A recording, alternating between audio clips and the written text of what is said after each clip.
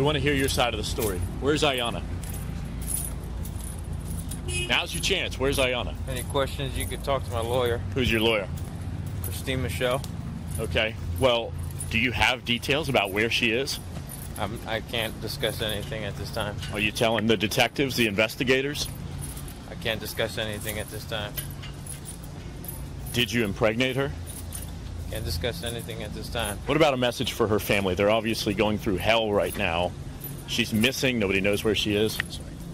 I can't. I can't discuss anything. Any questions, you could go ahead and contact my lawyer. She'll be more than happy to answer any questions you guys got. Are you forthcoming with everybody? Again, I have no no comment. I mean, I'm not trying to pester you, but there's got to be a reason why you don't have anything to say. Because I I can't talk. That's the whole reason. She told you you can't talk? My lawyer informed me that I'm not able to speak to anybody. So if you have any questions, feel free to contact her. Okay. Are you going to be forthcoming? This guy gets an Emmy. No, I, I have no further questions, no further comments for you guys, please. All right. Just go ahead and go. Thank you.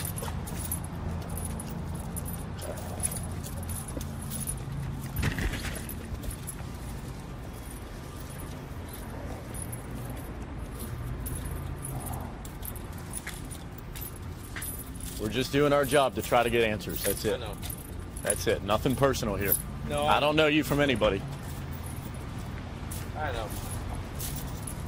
The same news reporters forced my wife to move out of our house, so it's not really too keen in talking to any media. I understand. Like that. That wasn't me personally, but I Oh, know understand. it wasn't.